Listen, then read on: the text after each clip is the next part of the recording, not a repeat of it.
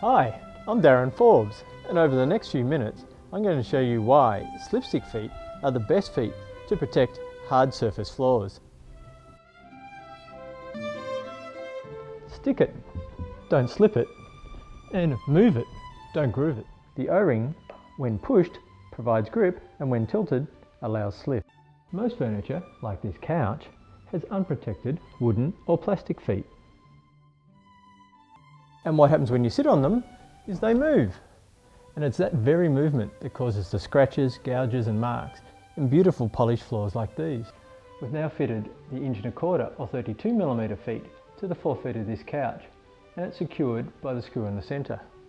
And your walls are protected also. With slipstick feet, your furniture no longer slides into them.